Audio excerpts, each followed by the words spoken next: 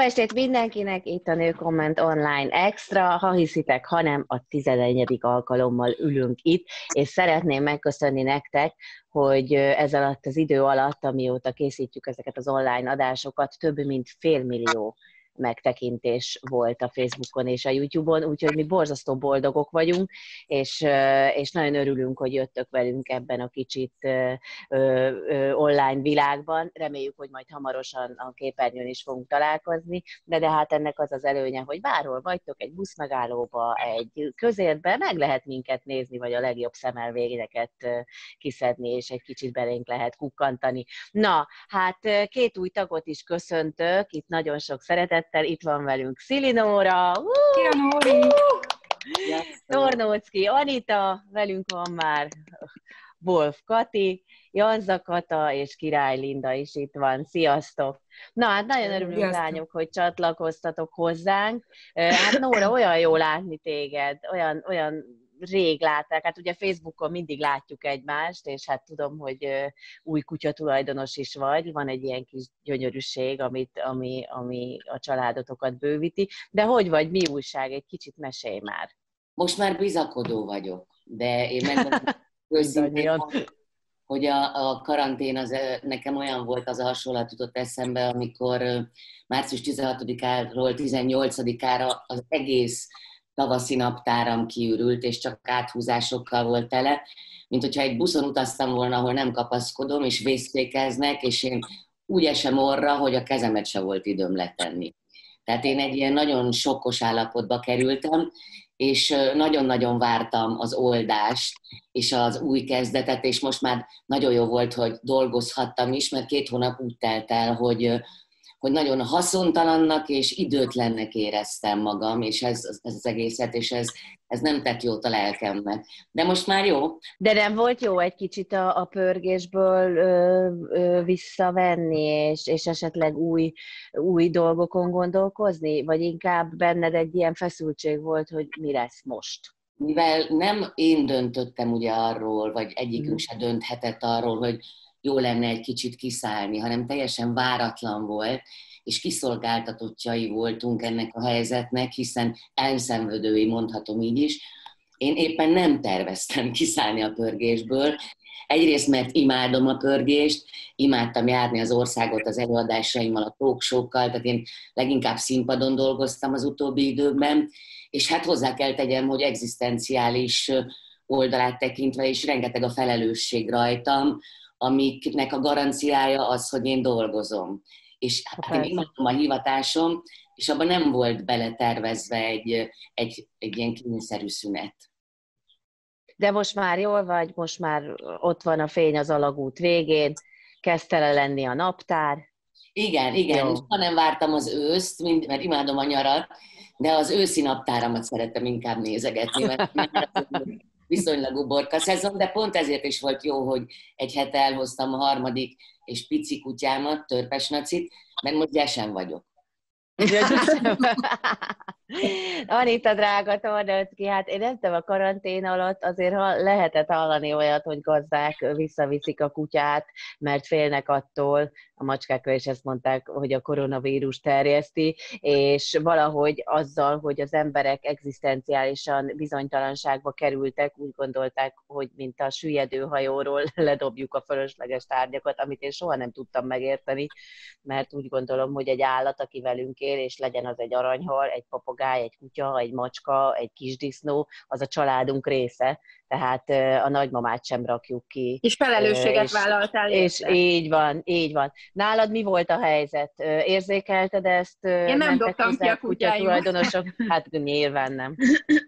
Igazából nagyon érdekes, mert ahogy te is mondod, nagyon sok ilyen volt. Hál' Istennek nem olyan sok, mint, mint amit lehetett hallani, de mi igyekeztünk azért folyamatosan, én is folyamatosan jártam a különböző médiumokat, és folyamatosan mondtam, hogy nem, a kutya nem terjeszti a koronavírus, de más kutyáját ne simogassuk meg, és akkor nincsen baj.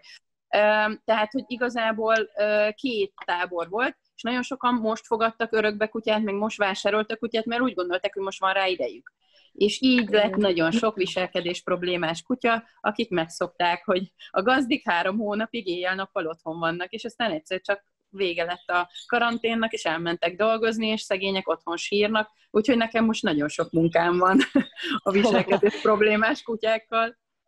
Igen, egyébként ezt pont azt hiszem a te posztodban olvastam a Facebookon, hogy, hogy hogyan kell beosztani ezt az időt, hogy oké, okay, hogy most otthon vagyunk, és hogy mindig az az ember otthon vagy, oda megy, megvakargatja, foglalkozik vele, oda megy, ugye az ember is egy kicsit most azt mondom, unatkozik, megdögönyözi, hogy kell hagyni, hogy egy kicsit eltávolodni tőle, akár a lakáson belül is, hogy ne érezze azt a folyamatos jelenlétet. De hát nyilván ez, ez azért nehéz. Hát meg boldog-boldogtalan sétált. Tehát Olaszországban volt Igen. olyan, hogy, hogy egy, egy társasházba mindenki megsétáltatta, mert csak kutya sétáltatásra lehetett kimenni, és mindenki szegény megsétáltatta kutya. ugyanazt a kutyát, szegény kutya 14-szer sétált, mert minden lakásból megsétáltatta valaki több ilyen karikatúra is készült, hogy a kutya a konyha szekrény tetején ül, hogy nem, nem akarok sétálni, hagyjatok Tehát, hogy ennek az is a csapdája, hogy nagyon felhozod a kutya kondiát, mert 5, 5 kilométert sétálsz vele naponta, vagy 10 meg futsz vele, meg nem tudom, aztán elmész dolgozni, és a kutya ott marad egy jó kondival, és szét fogja bontani a lakást, vagy a kertet.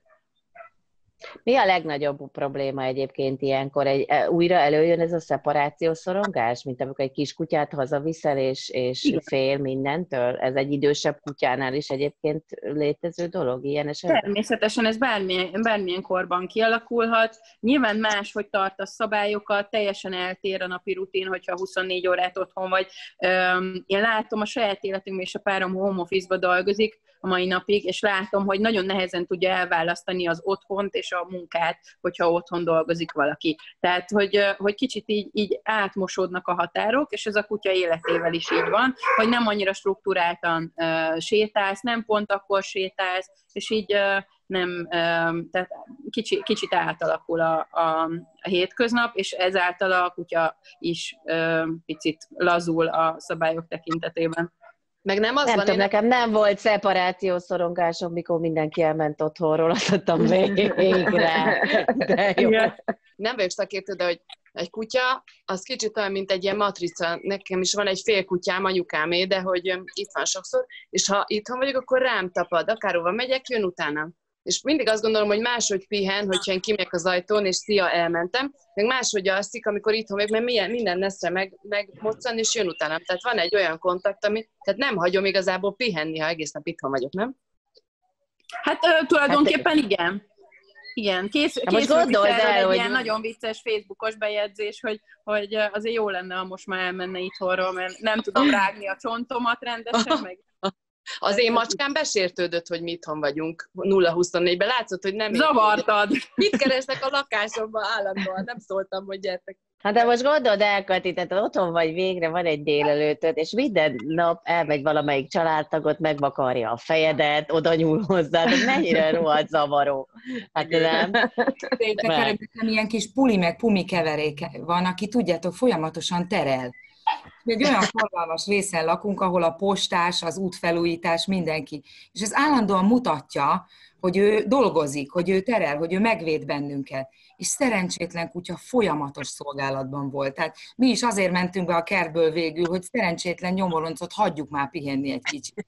Mindig mutatta, hogy ő itt van, ő dolgozik, ő csinálja, ő rendben van. Annyira sajnáltam. Én esküszöm, az enyém de... az már lassan pofákat vág rám, mert ugye a karantén alatt én már úgy beszélgettem vele, mint hogyha ember lenne, tehát hogy így ez, ezzel mi van most, de viszont kicsit szemtelen lett a kisasszony, mert megszokta, hogy napi, nem tudom, 45-ször leviszem sétálni, mert unatkoztam, és már konkrétan azt csinálja, hogy reggelente felmászik így félig az ágyra, és így lögdös, hogy na, na, most menjünk. Mondom, mi van itt 15 évesen?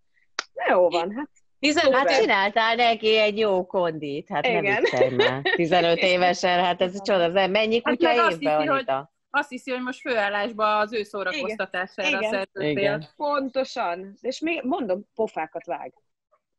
Na, azért a, a karantén szerintem hozott egy csomó olyan platformot, ami, amire így nem gondoltunk, főleg úgy, hogy ugye a, az előadó művészek, a szórakoztató iparban lévő emberek ugye elkezdtek nyitni, még azok is, akik nem voltak jelen akár az Instagramon, vagy akár a Facebookon, elkezdtek nyitni a különböző mégiscsak van egy férfi az adásban, Robi elmegy. Mert hogy már egy olyan különleges alkalom van, ezt elfelejtettem mondani, hogy ma nincs férfi vendégünk, tehát hat nő fog itt csacsogni, de egyet behoztam, most távolodott. Na.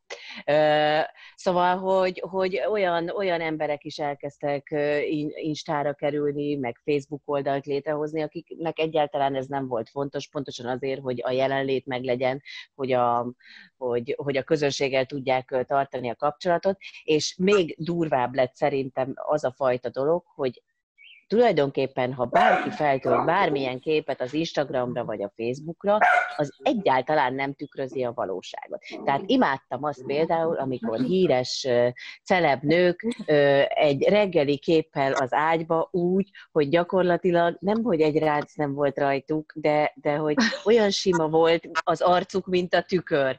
Csillogó szem, a száj megduzzadt, és az nem attól, mert éjszaka kifolyt a nyálad az alvástól, hanem tehát, hogy Szóval, hogy gyakorlatilag ezek a képek felkerültek, amitől az ember úgy érezte, amikor belenézett reggel a tükörbe, hogy úristen, én miért nem így nézek ki.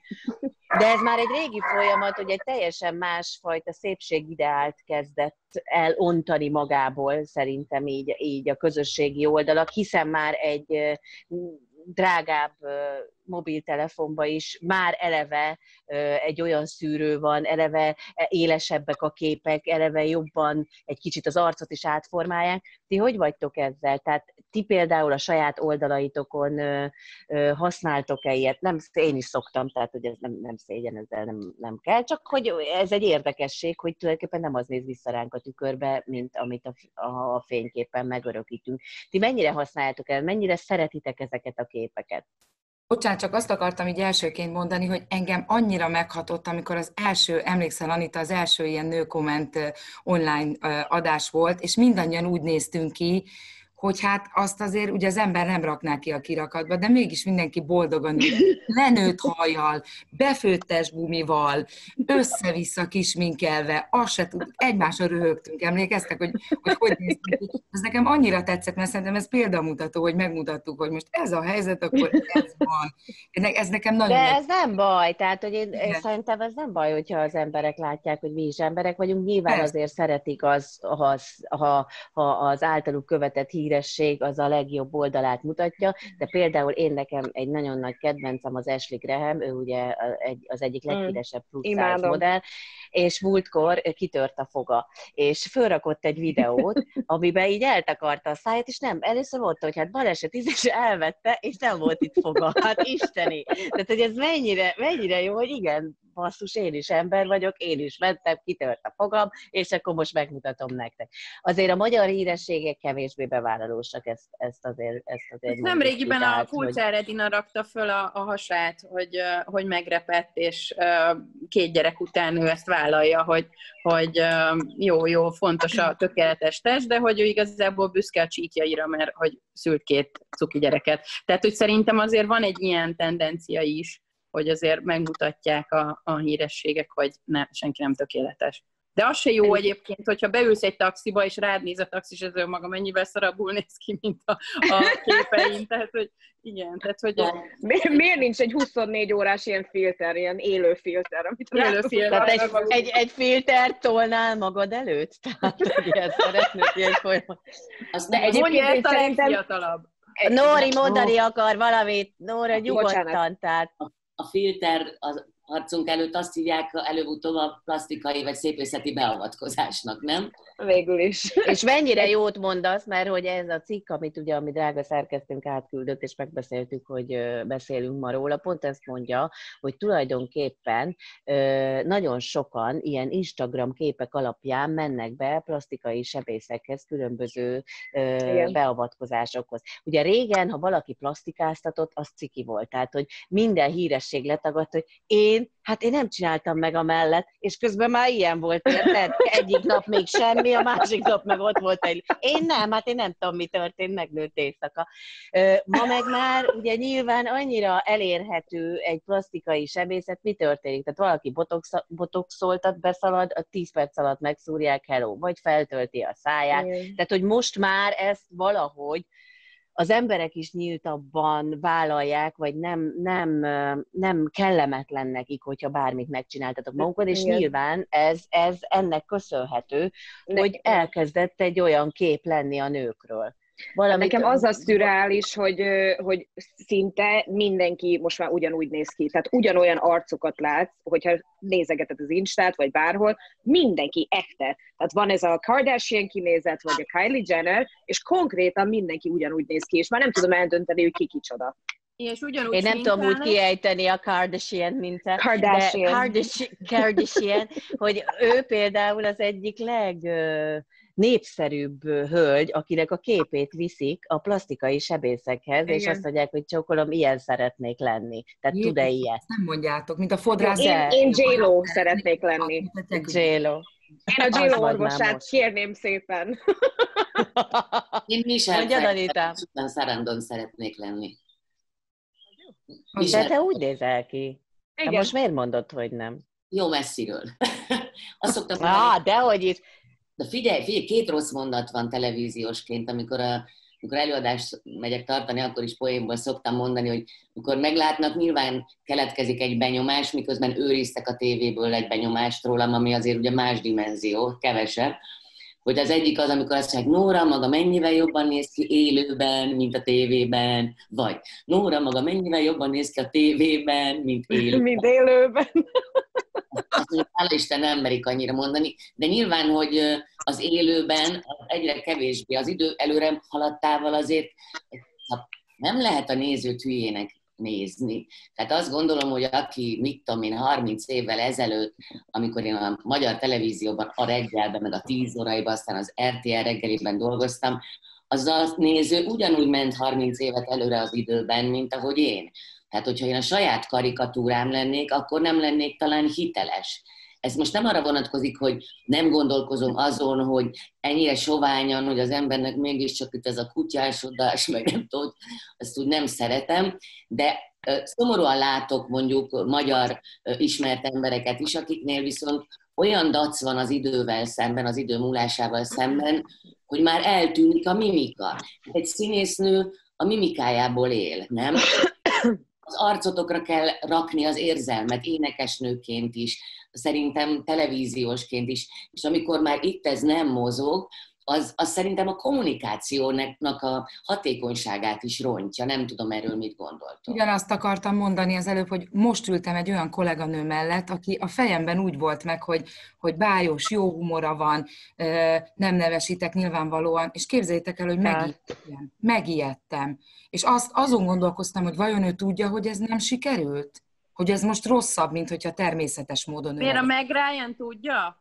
Ugyan, ugyanolyan lehetőségei vannak a Meg Ryan-nek, mint mondjuk a Jennifer Lopeznek, és ehhez képest nézzétek meg, hogy hogy néz ki a Meg Ryan, aki egy nagyon Igen. cuki, nem egy klasszikus szépség volt, de egy borzasztó bájos cuki lány volt, és egy rémel. Én csak az orvosokat nem értem, tehát mondjad, Linda, bocs.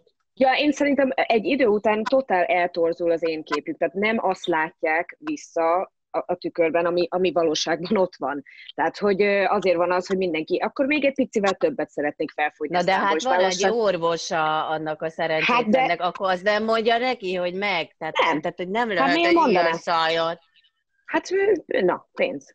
Hát Na de neki is az egy referencia, tehát hogy ez egy rossz referencia. meg Ryan orvosához, mert Abszolút. szerintem elcseszte. De, de akkor nyilván oda olyan orvoshoz kéne, hogy menjen, akinek van valami etikája. tehát, hogy Jaj. nem. Igen, mert nyilván Nekem egyébként még a, a kedvencem, amikor szoktam így pörgetni az is, tehát azok a ismert nők, akik mondjuk hosszítanak magukat. És azra már nem veszik a fáradtságot, hogy mondjuk van mögöttük egy oszlop, ami ilyen lett.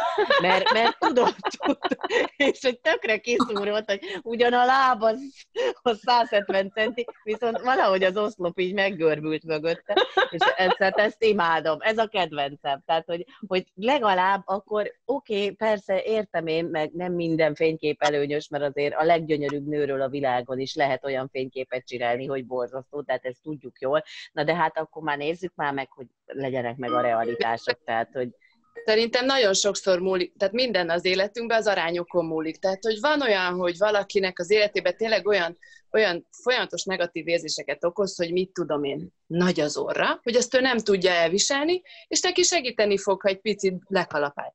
De, hogyha túl, túlmész minden arányon, és rém lesz belőle, nyilván az már mindenféle szempontból rossz volt az életedre. Nagyon fontos szerintem, hogy milyen barátaid vannak, tehát amikor leülsz a saját kis baráti köröddel, és el, el tudsz kezdeni röhögni azon, mondjuk 40 pluszosan, hogy hogy néz ki a nyakam, hogy izé, hogy tényleg a másik is de túllendülsz rajta, mert ezek így szeretnek téged, vagy mondjuk a gyerekettől kapsz egyet, egy anya, te szép vagy, amikor úgy nézel ki otthon, és egy anya, te csinos vagy ebben a ruhában, vagy a fiú, akivel vagy, az azt mondja, hogy így is, úgy így gyönyörű vagy, átalakulnak a saját, saját élményeid is magaddal kapcsolatban. Szóval nagyon fontos, hogy az egész internetes életed, az ne, ne menjen be túl, túlságosan a saját privát életedbe. Nekem is van Instagramom, és soha nem gondoltam magamról, hogy ne, én nem vagyok egy, egy modellfejű csaj. És ha olyan képeket... Hát a tested viszont az. Jó, de köz, de hogy, hogy csinálok egy olyan képeket magamról, ami nekem is én idegen, így megnézem, hogy hát én énekesnő vagyok, nem modell, és mégis kicsit átvettem én is, és megtanultam úgy, és egy kicsit használok filtert, de szerintem nagy a felelősség abban, hogy mi, akik szem előtt vagyunk, azok azért a való, meg ez Magyarország, ez nem Hollywood, szóval azért a valóságot mutatod meg. Nekem volt olyan élményem nyolc évvel ezelőtt, hogy rengeteg felépésem volt, és A-ból B-be mentem, és én már le, leszettem a sminkemet, szóba volt a hajam, és álltam rohadt fáradtan, fáradtan egy benzinkútnál. És mögöttem megállt két manus, és a következő beszélgetés zajlott, hát és rohadtul hallottam hát figyelj, ez ő, hát hülye vagy, az nem így néz ki, ez történt. És akkor mondtam a srácok, a akkori sofőrömnek, hogy Attila, nagyon rosszul nézek ki. Hát kicsit fáradtnak tűnt, és akkor kicsit valahogy fölpampucoltam magam, de hogy tényleg nem jó, ha nagyon elütsz a, a... Egyrészt vállalni kell azt, hogy te is vagy fel, te is vagy le, lerohadt állapotban, de mindig eszem jut a nagymamám, már nem, nincs velünk, az apukámnak az anyukája, aki 92 évesen hagyott itt bennünket, és mindig patentül nézett ki, de ha bekopogtattál hozzá hétfő reggel 7 órakor a lakásába, kis magas, nem volt agyos minkelve, nem volt ekkora uh, műszempilla, de kis pirosító, kis rúzsika, mosoly, mosoly, kis hm. magas sarkú, és, és ha én így mentem be hozzá, akkor azért azt mondta, hogy nem nézek ki a legjobb. Igen, hogy ez, ez, ez valahol belülről jön, vagy nem tudom. Ti egyébként bevernétek vallani, hogyha bármit csináltatok volna magatokon? Én biztos, hogy be, de képzeljétek el, ezzel kapcsolatban akartam mondani, hogy, hogy kell egy jó beszélgetés, vagy egy jó, jó indítatás ahhoz, hogy az ember utána átgondolja ezt. Egyszer elmentem a, a nőihez professzor bácsimhoz, ekkora lista kérdéseket összeírtam, pont ezzel a változókorral kapcsolatban. És annyira édes volt, így megfogta a kezem, letakarta a, a száz kérdést, amit összeírtam, letakarta és mondta, drága Katalin, most lehetne egyenként mindegyikre válaszolgatni meg, hogy mit kellene minél hamarabb tudomásul veszi elegánsan és szépen az idő múlását, annál könnyebb lesz. Ez a recept. Hát ez így van. Így Olyan van. édes. Szóval te bemernéd, bemernéd, bemernéd vállalni most itt, hogy, hogyha valamit megcsináltattál volna magadnak? Én bemerném vállalni, persze, teljesen természetesen. Uh-huh. Uh, nyilván van nekem is olyan, amit már nem szeretek magamon. Valahogy az éneklés, ahogy énekelgetek, nem tudom, valahogy olyan furcsa fejeket tudok, néha ilyen színházi képek vannak rólam, a arcom így, itt, így lelóg, vagy nem tudom, azt nagyon utálom, és bemerem nektek valani, hogy annak utána nézegettem, hogy mit lehet azzal csinálni, hogy milyen gyakorlatok vannak, de a beavatkozásig sosem jutok el, csak fejben néha elkalandozok, meg megpróbálom időnként, mikor tudom, hogy fotózzák azt a rohadt főpróbát, akkor megpróbálom időnként egy picit nem úgy kinézni, mint egy házi malacek éppen állapotban neki megy annak a jelenet, szóval picit oda. No, de éneklés közben pusztító képeket vágunk. Tehát hát, a legrosszabb. j is van, meg a Mi a szélolika? Hát ez van. Persze, de ez, ez, ez nem baj szerintem, mert ez pont a... Na, menjünk sorba, ki mit ver bevállalni. Én elmondom, én rajta tényleg minden természetes. Azt nem tagadom, hogy én mindenfajta, ami nem beavatkozás, ilyen kozmetikai, szépészeti dolgot imádok kipróbálni. Tehát amikor, tehát, de hogy ami nem szúrás, meg semmi, mert én nem, egyszer nem tudom elkezdeni, hogy valami idegen dolog legyen az én testembe, és amikor elváltam, akkor úgy arra gondoltam, hogy szarok a gravitációra, és feljebb rakom itt ezeket a, ezt a két dolgot, ami, amit cipelek már az életemben. És hát tudod, állandóan nézegetem a tükörbe, hogy hogy és mi és izé, és nem tudom, és hát én most ez tetszik, nem tetszik, én azért a Lucával úgy elég sok mindent megbeszélek, és egyszer álltunk a fürdőszobban, és mondom neki, hogy mire készülök. És így megállt, és azt mondta, hogy anya, te normális vagy hát abból ettem, ne nyújj már hozzá.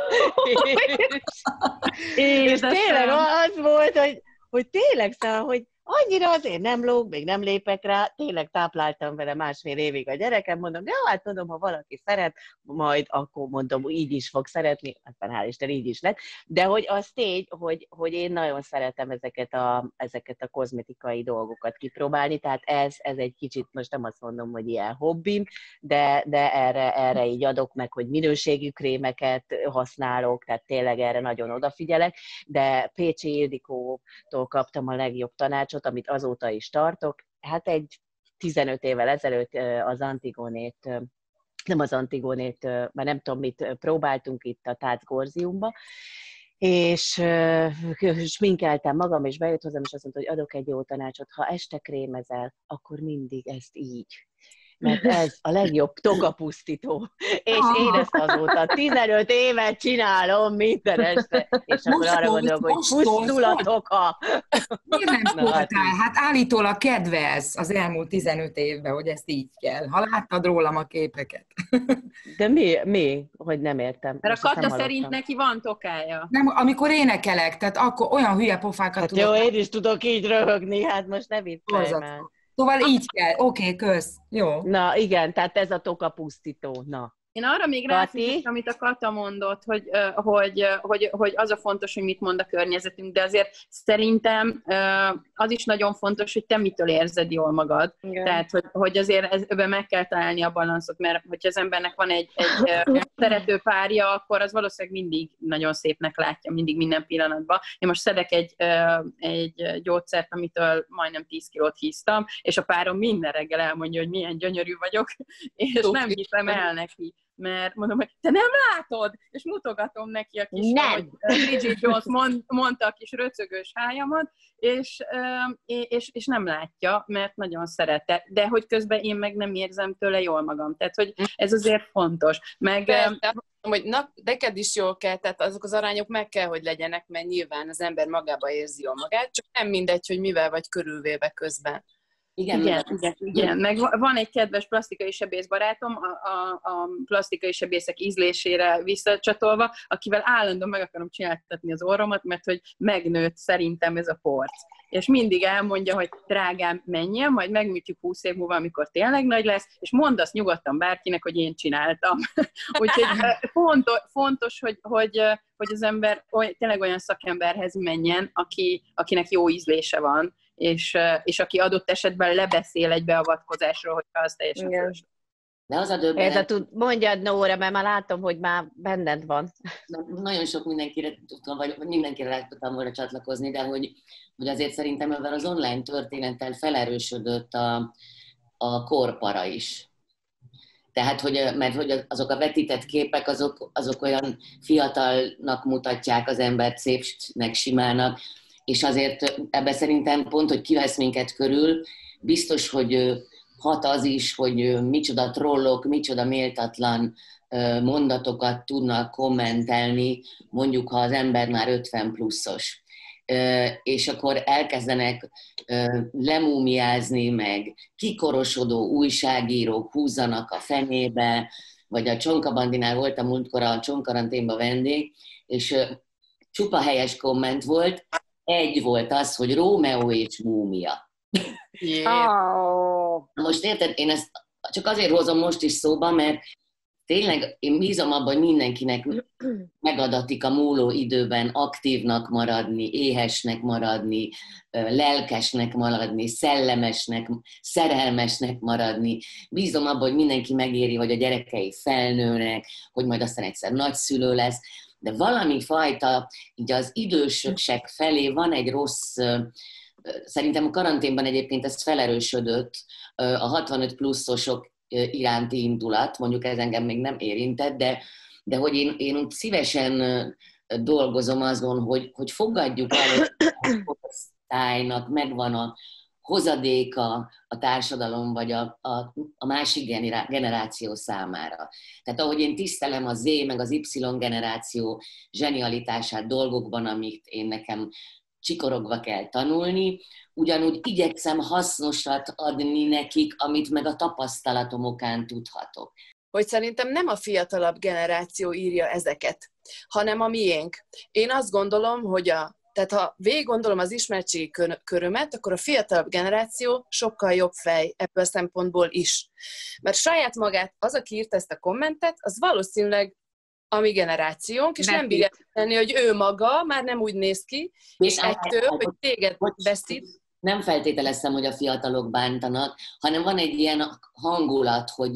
Csak azt mondom, De az hogy e, alapja a kommentvilágra igaz, Nóri. Tehát, hogy azt gondolom, hogy bombázókhoz, akik tényleg nincs kifogás, tehát mondjuk ott van, teszem azt az Iszakeszti, aki 30 pluszos, úgy néz ki, mint egy 16, tényleg el, tehát gyönyörű szerintem. Ö, ő mesélte egyszer, hogy néha olyan kommenteket kap, tehát, hogy, hogy ez, ez inkább csak az, hogy valakiben van egy frusztráció, épp följön. Igen. Hát ezt te tudod a legjobban azért, te pszichológiát te azért ez is vagy. Tehát, hogy ez egy, e, e, e, de szépen megfogalmaztam, hogy pszichológiát, hát ez is vagy. Tehát, hogy, hogy, hogy, hogy egyszerűen ez kijön, tehát, hogy mi is, érted, én is 45 évesen kapom azt, hogy öreg vagy, és azt mondom, hogy hál' Isten, akar az tehát én nem akarok 20 éves lenni, nem akarok összenőtt szemöldökű, nem tudom én, magamat nem találó ember. Én 20 évesen ilyen voltam. Én tök jól vagyok, és ha te azt sugárzod magad, hogy te tulajdonképpen jól vagy, és 45 évesen, 50 évesen, az irritálja az embereket, mert valószínűleg ő soha az életében nem érezte magát jól a bőrében. Persze. És azért most már ez annyira kitolódott, tehát mondjuk nézd, nézd meg, hogy, hogy egy 45 éves nőt odaraksz egy 30 éves mellé, nem biztos, hogy meg tudod állapítani, hogy ki mennyi idős.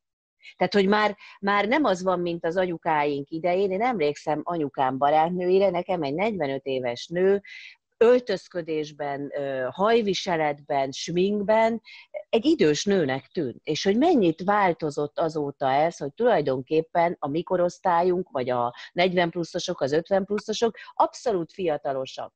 Mm. Fölveszik a versenyt azzal, ami most, most, most van, és azért, ha abba belegondolsz, hogy 15, 14, 15 éves lányok úgy néznek ki, mint 20-25 éves lányok, ez nem jó.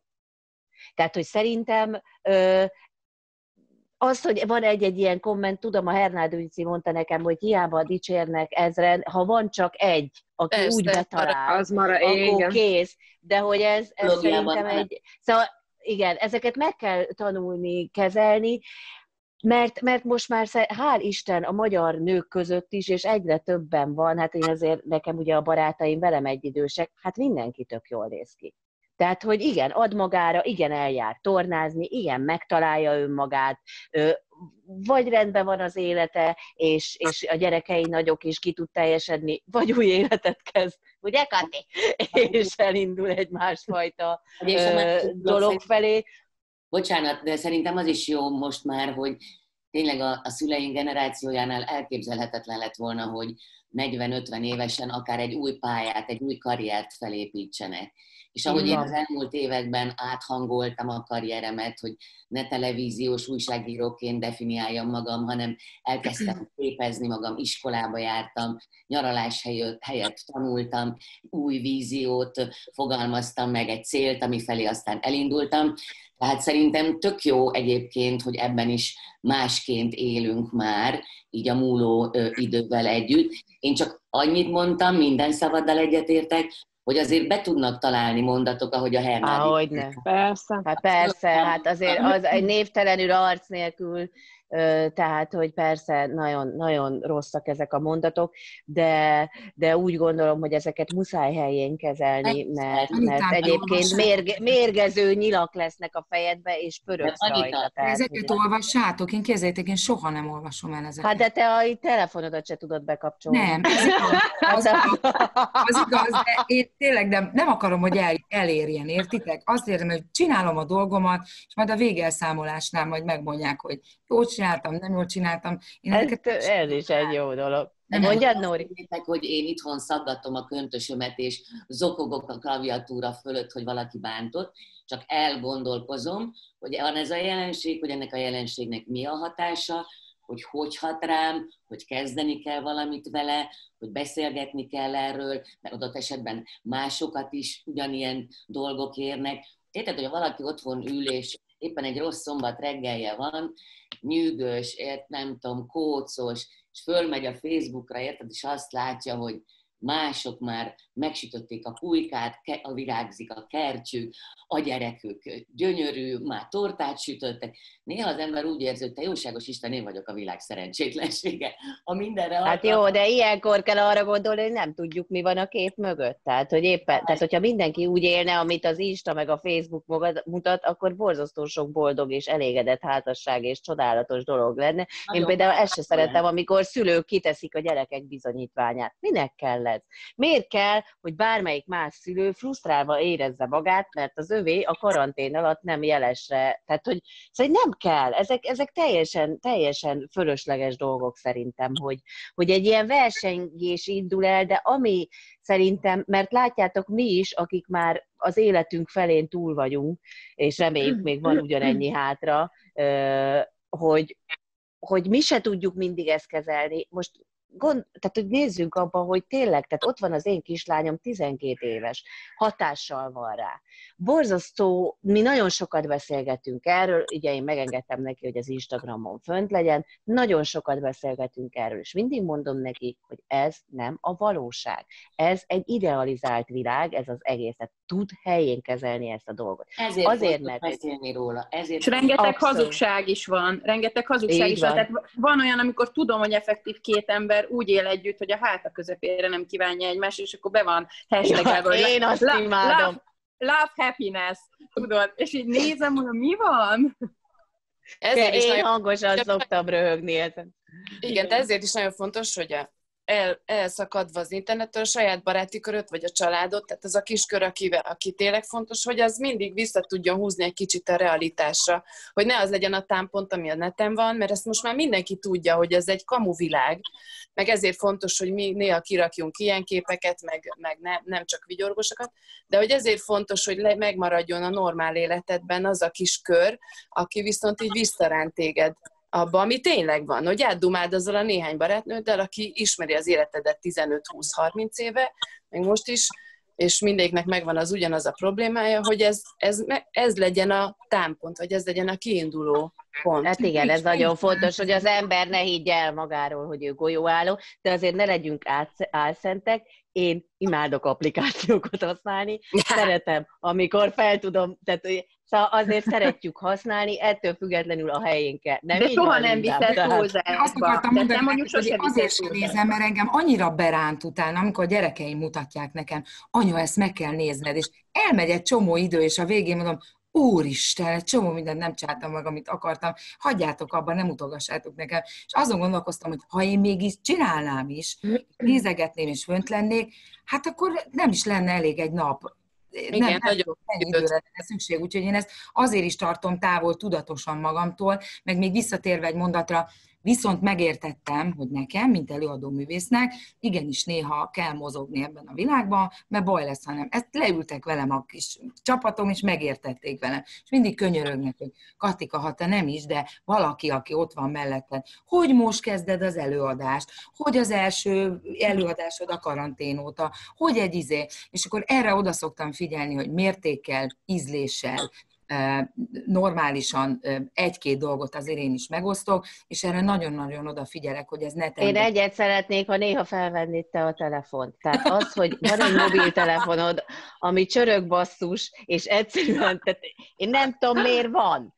Tehát, hogy, hogy, kezdjük az alapoknál, megnyomod a gombot, és halló, tehát, hogy ért, utána mehet a többi. Azt a többiek Na nem de... tudják, hogy az Anitáiktól én mit szoktam kapni. Volt olyan sajtótájékoztató, képzeljétek el, hogy bementem, mindenki diszkréten üldögélt csöndben, volt egy kis morajlás, és 20 művész nekem ugrott, még mielőtt leültem volna közéjük, hogy 45-ször hívtalak, nem igaz, hogy nem veszed. És még mielőtt leülhettem volna, már megsemmisültem. Nem tudjátok elképzelni. A csonka üvölt az Ábel Anita, a Fésűs Nelly ordított velem.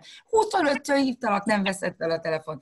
Úgyhogy erre nagyon kell figyelnem, mert ha nem akarok mindig megalázott módjára kullogni az ilyen közösségi Hát nem, de néha jó, jó lesne, ha el tudnánk érni. Te mi csak ezt szeretnék, hogy azt kérdezzük, hogy vagy. Tehát nem azt kell nekem, hogy fölrakja egy filteres képet, hanem hogy vagy, minden oké, okay, ennyi. Na de hogy, hogy, hogy aztán ebből kiindulva, és szerintem ide is vág ez a, a következő témánk, hogy itt a karantén alatt maga a YouTube borzasztóan megerősödött, tehát sokkal többen kezdték el a tartalmakat nézni, mint eddig, és most már kifejezetten a YouTube-ra is rengeteg showműsor és tartalom fölkerült. Ugye nyilván az emberek többet voltak otthon, ha a televízióban nem találtak olyan műsort, vagy bármi, ami lekötötte volna őket, rögtön mentek és filmet néztek, tartalmakat néztek.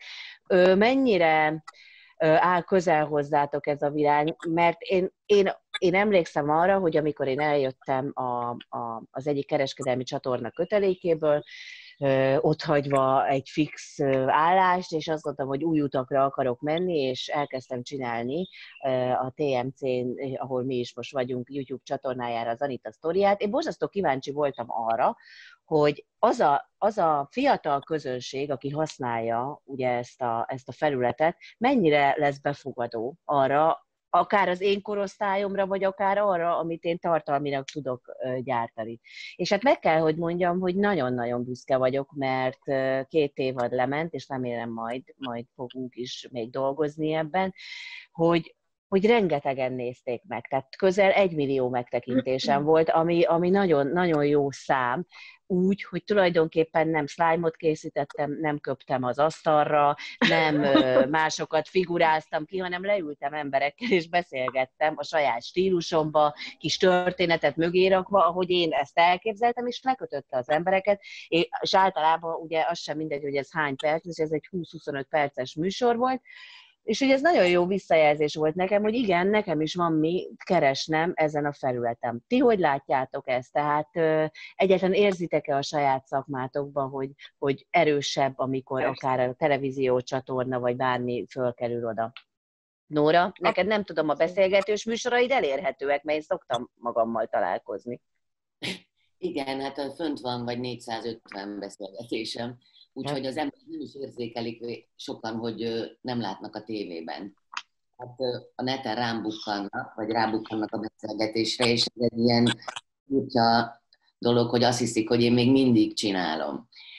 De egyébként éppen most számoltam ki, hogy hat éve, hat éve nem televíziózom, és most arra éreztem meg arra, hogy újra szívesen beszélgetnék, úgy, ahogy én is a magam módján, ugye mind a kettőnek megvan a maga módja, és az a, az a jó, ha van egy sajátos módja az embereknek, és a, sokan meg is szólítanak művészek egyébként, hogy csináljam, mert olyan szívesen eljönnének hozzám beszélgetni. Tehát, hogy úgy látom, meg az emberek is mondják, hogy lenne rá igény, de már én sem feltétlenül televízióban gondolkozom.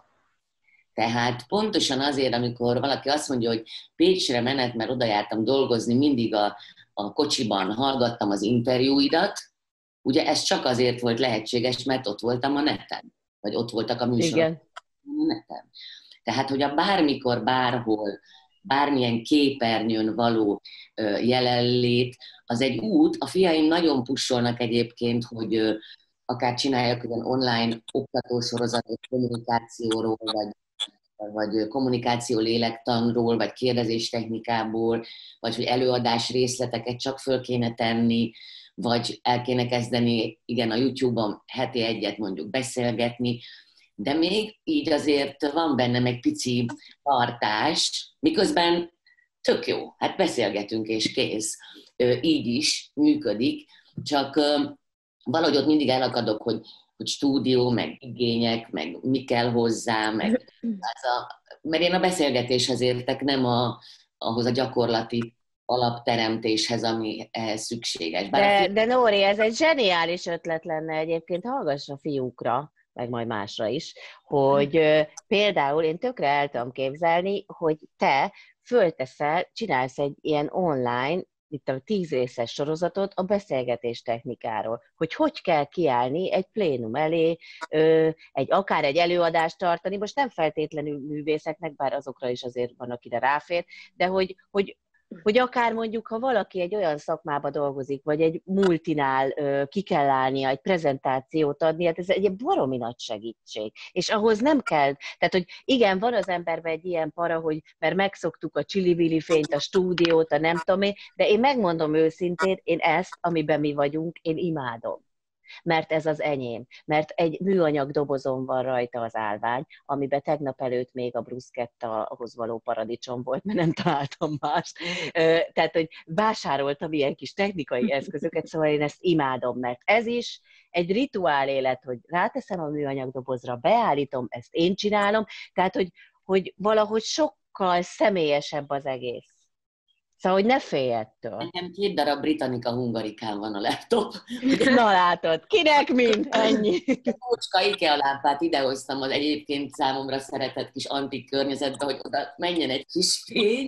Tehát amikor mondta Krista, hogy bergfotót csináljak, így belegondoltam, hogy hát az vicces lesz. Az vicces De lesz. Ez, de ettől működik, tehát hogy hidd el, hogy, hogy ettől, és szerintem egy ilyen sorozatot ezt imádnának. Én biztos nézném, mert egy, nyilván nekem is egy csomó információ, szóval hogy ne félj ettől, és igenis helyed van. Ö, szóval, hogy ne legyen ez. Na, most már aztán. Egyébként Kati és Linda azt akartam kérdezni, hogy most már azért az bevett dolog, nem az énekeseknél, hogy hogy egy klippremiért a YouTube-ra tesznek, tehát hogy már nincs is nagyon más platform, nem? Tehát, hogy a saját közösségi felületeiteken beharangozzátok ezt, és akkor ki, kidobjátok, hogy akkor szaladj, menjél. Ti hogy érzitek? Jobb volt a régi világ, amikor a, a zenei csatornán megjelent és beharangozás klippremier, vagy ennek van azért nagyobb hozadéka? Linda? Hát nyilván annak volt egy ilyen kis feelingje, tehát olyan, olyan ünnepiesebb volt, de, de az az igazság, hogy, hogy más a világ. Tehát a mai fiatalabb generációkat is úgy lehet megszólítani, hogyha most beszélünk YouTube, vagy TikTok, vagy Instagram, vagy bármiről, hogy egyszerűen ez, ez a világ van, és alkalmazkodni kell, mert hogy erre felé haladtak a dolgok. Úgyhogy, úgyhogy igen, meg kell találni ebben is a szépséget. Azért az az igazság, hogy számtalan lehetőséget ad olyan embereknek, akiknek nem lett volna lehetőségük ugye tévébe kerülni, vagy bármi más. Úgyhogy sok-sok pozitív van ebben is, szerintem, de hát nehezebb kitűnni, az biztos, Na de látod, például ott van a Horváth Tomi, aki ugye elindult egy tehetségkutatóban, ott szerepelt úgy, ahogy, és aztán gyakorlatilag a YouTube-on egy 18 Igen. milliós nézőtábort hozott, aminek a hatására elhívták a tévés producerek, Igen. és Igen. bekerült a sztárban szárba. Vagy ott van a legjobb mm. szerintem imádott Cilám, Kajdi Csabám, aki gyakorlatilag az Instagramon kezdett el egy ilyen anti-influencerkedést, csak sztorikat nyomott föl, 200 ezer követője van, tehát én négy éves korom óta vagyok a szakmában, és nekem az Isten csak 130, tehát csak 133 ezer, ennek is borzasztóan örülök, hogy ennyien követnek, de ők egy 200 ezeres követő táborral, és tulajdonképpen nem csinál semmi, mint főz, elmondja a véleményét, lexikonból olvas föl, tehát, hogy amit a Linda is mond, hogy hogy nagyon sok embernek adott teret, és egy felfedezést is, hogy azt mondták, hogy igen, ő érdekes. Ha itt érdekes, akkor tévében is érdekes igen. lehet. Kati, neked ez mennyire, most a Wolfot, mert te Kata vagy, majd oda is megyek, de hogy neked te mennyire érzed a zenei életedben ezt, hogy, hogy ez segít, vagy, vagy igen, ez a platform, ez jó? Hát én is mindent kipakolok oda, meg persze ott elsődlegesen ott vannak fönt a dalok, mert a legtöbben nálunk még mindig YouTube-on hallgatnak zenét, tehát még a, a többi fizetős dolgot sem annyira ö, ö, kedvelik, mert a YouTube kvázi ingyen van. Tehát oda mindenféleképpen fölkör. Én utálom. Én, én, én nagymama vagyok ebből a szempontból, tehát hogy én, én nem csináltam online koncertet, én ezt nem bírom, nem szeretem. Nem, is nem énekeltél a komód előtt? Nem. Ah, Ö, sem. Nem. Én, én, én nagyon, én nem tudom elképzelni a zenélést se a személyes kontakt nélkül. Tehát azt, hogy ott ül előtted akár 5 méterre, vagy, vagy 100 méterre, uh, nem, én, ne, én nem tudtam ezt meglépni, de az én közönségem nagy része sem feltétlenül YouTube, YouTube-os. Tehát uh, érdekes, hogy én azt lettem mérni, hogy amikor egy-egy televíziós showműsort elvállalok, akkor sokkal élékebben vagyok. Tehát van olyan, hogy mondjuk nem válok egy ideig, mert azért az egy külön műfaj, és akkor van olyan, hogy a koncert után odaennek, hogy jaj, úgy, úgy eltűntél a kedvenc mondatom. És akkor mindig szoktam kérdezni, hogy honnan tűntem el? Csak honnan? Igen, és akkor, és akkor kicsit gondolkodnak, hát a tévéből. Uh-huh. Szóval, hogy van YouTube, meg van minden, internetes platform, de azért még mindig iszonyar, tehát az van, hogy én is nézegettem a telefon, de úgy, hogy nézek a tévében, mondjuk egy menő, nem tudom én, vasárnap esti showműsor, és közben csekkolom a, a nem tudom én milyen fórumokat, tehát egyébként utálom. Tehát az egészet kikapcsolnám, és mennék élőbe. De én, én mondom, én, én, én ebben a szempontból azért nagyon konzervatív vagyok, hogy én ezt nem tudom megugrani, nem esik jól. Katanálatok volt, nem az operetben most a karantén alatt, amikor ugye az előadások elmaradtak, hogy ti ilyen online kisfilmeket csináltatok és raktátok fel a hivatalos oldalakra. Igen, és megdöbbentő, hogy mennyien nézték, és mennyi erőt, meg, meg reményt adott az embereknek.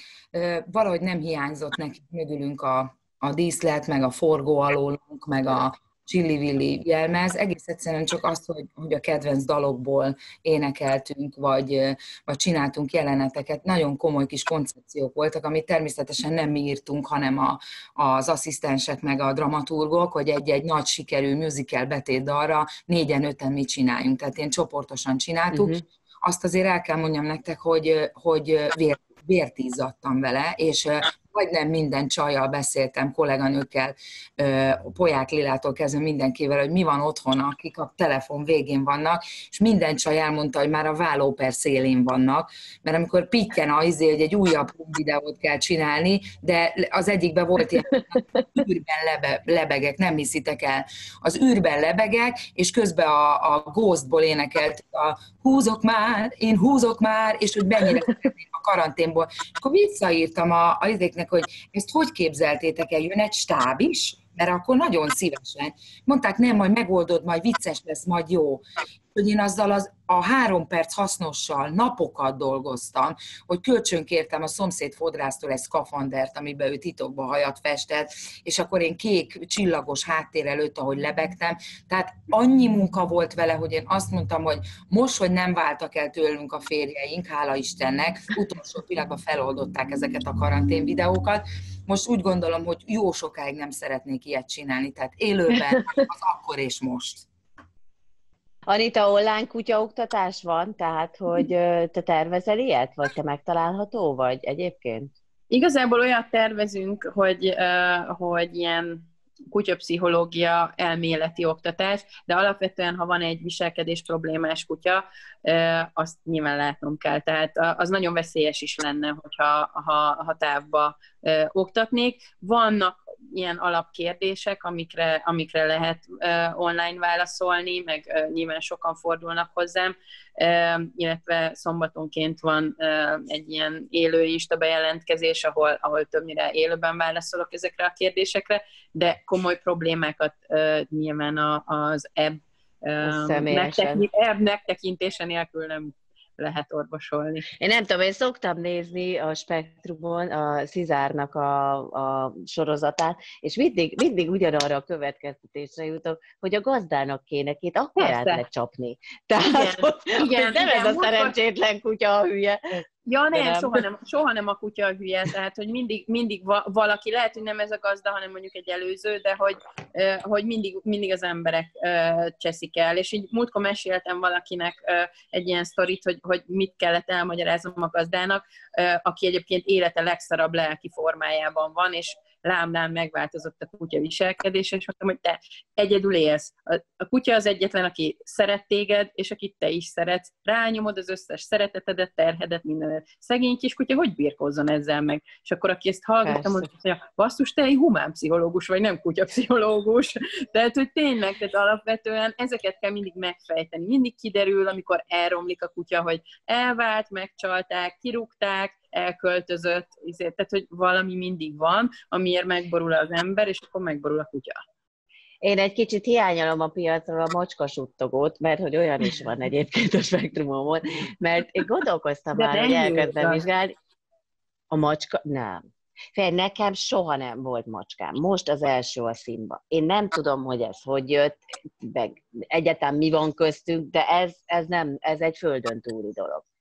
Tehát, hogy, hogy egy olyan, tehát hogy tényleg, és akkor elkezdtem nézni ilyen macskasuttogó filmeket, így ilyen ismeretterjesztő csatornán, hogy bizonyos dolgokat tudjak. Hát ott is megdöbbentő, hogy, hogy a macska, aki ugye elvileg egy nagyon öntörvényű, makacs kis élőlénynek van beállítva, milyen szinten veszi föl, és ő szerintem még inkább rajta van a, a gazdák energiáján, a kutya is, de hát minden kis állat, akivel együtt élünk, hogy, hogy tényleg az is mennyire tükrözi, hogy amilyen a gazda, ő ugyanúgy kezd viselkedni. Szóval hogy tulajdonképpen az alapprobléma mindenhol ugyanaz. Hát az Persze, az állatok alapvetően... Beteg lesz, ha te idegbeteg leszel a természetben ugye minden, minden élőlény az emberen kívül az az, az energiád alapján tájékozódik, Persze, és alapvető, alapvetően ugye az ember, a, a Cézár szokta mondani pont, hogy az ember az egyetlen élőlény, aki hajlandó instabil vezetőket követni, de hogy tényleg, tehát hogy az állat, az állatok, állatok a stabilitásra törekszenek, és hogyha te stabil vagy, akkor ő szívesen, szívesen engedelmeskedik, szívesen működik. Na, de a gyerek ez a gyerek is. Pont így van. Hogy azonnal a tükör. Tehát kijön, és ilyen napja van, elkezdesz gondolkodni, hogy jó, én mikor hűltem meg, minek kapom vissza a tükrét. Tehát ezt a gyerekekkel... Tehát akkor ez azt jelenti, el, hogy, én... hogy de ez mennyire durva, hogy milyen energiánk vannak. Az én párom például, amikor elmegyünk étterembe, vagy akár anyukámtól hozunk valami kaját, és megkóstolja, akkor ő elmondja, hogy az anyu milyen lelki állapotban volt.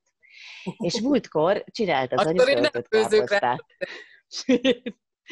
csinált töltött káposztát, és így ette a Robi, és ott, hogy mm, hát ezt a mama nem, ezt úgy összedobta, mert tudta, hogy te kérted, de úgy igazából nem volt kedve hozzá. Én mondom, oké. Okay. Felhívom anyámat, mondom neki, hogy anyám, olyan finom volt ez a töltött káposzta tényleg. Válasz. Jaj, pedig ha tudtad volna, hogy mennyire untam ezt főzni, tehát, hogy az embernek még az ételben is a hangulata, meg a minden visszajön. Szóval ez elképesztő, nem? Hogy, hogy hogyan hatunk egymásra, meg hogyan, hogyan működnek itt az energiák. És remélem most ti úgy éreztétek, hogy jól működnek az energiák. Jól éreztétek magatokat, Nóra? Abszolút. Most tőled kérdezem, mert te meg Anita elvesztettétek igen, a nők komment szüzességet. Tessék? Isten jó Isteni volt, nem hallott. Nem, nem hallottam. Jól. Mondd hangosabban. És nagyon jó volt veletek, és feltettátok a napomat, és egyáltalán. Én azt akartam, Jaj, nagyon örülök. a Nórának csak egy mondatot, hogy mennyire fontos, hogy a Nórát én is bíztatnám, hogy a kis technikai segítséget majd valahonnan megkapjuk, mint hogy én is Jankámtól állandóan, meg Samukámtól kérem, meg a páromtól is, hogy nagyon fontos lenne, én is egyetértek Anitával, hogy, hogy buzdítsalak téged, mert az én életemben a sok vacak cikken kívül összesen három olyan riport volt, amiből kiderültem én magam és az egyik pont veled volt egy ilyen beszélgetés. Úgyhogy csinált, kérlek, mert olyan jó, Igen. jó lenne, ha, ha, ha rólunk az az igazi, és akkor nem kéne a kommentekre reagálnunk sem, egy-egy ilyen riport veled, és megtudják az emberek, hogy valójában mi van velünk. Jó, ez bíztatás, és még akkor én is egy gyerekes sztorit elmondok, mert a Richter Anna díj zsűriébe benne voltam, illetve benne vagyok, és elmaradt ugye a gyönyörű ünnepélyes díjátadás, és egy selfie videót kellett itthonról készíteni, és hirdetnem az egyik kategória győztes. És ahogy Kata, te küzdöttél a szkafanderba, én mondjuk nem a szkafanderba, de nagyon küzdöttem, míg azt a videót megcsináltam. Fiam jött, tanítgatott, mutatta, izé. Majd elkészült végre az x verzióban a videó, és ugye kikerült online és a fiam megnézte azon a bizonyos oldalon, és azt mondta, anya, szeretnélek megdicsérni, gratulálok, te online is átjössz. Na, de ennyi, ennyi, Ennyi, mint ahogy mi is minden héten szombaton online átmegyünk a kedves nézőkhöz, hozzátok, önökhöz, és reméljük, hogy most is élvezték ezt a bő, nem tudom hány perc lesz, ezt majd a Viki eldönti. Jövő hét szombaton találkozunk, reméljük addigra lesz, találunk egy férfit a zavarosba, és akkor nélkül, ha mer, de persze mi szívesen látjuk őt is. Köszönöm nektek, lányok, hogy itt voltatok ma. Szerintem egy nagyon jó kis beszélgetés volt az én nap napomat biztos, hogy feldobtátok, és nagyon jó látni titeket így. Vigyázzatok magatokra, tehát ne felejtsétek el ti meg ott a képernyő túloldalán, hogy jövő hét szombaton este 8 órakor a TMC YouTube csatornáján találkozunk, ugyanígy a Nő Komment Online extrával. Vissza lehet nézni, ennek megvan ez a pálya, nézzetek minket. Ha esetleg bármilyen olyan érdekes téma van, amit szeretnétek, hogy megbeszéljük, nyugodtan írjátok meg kommentbe, mi megpróbáljuk ezt majd kivitelezni. Mindenkinek szép hétvégét, és köszönjük szépen, hogy velünk voltatok.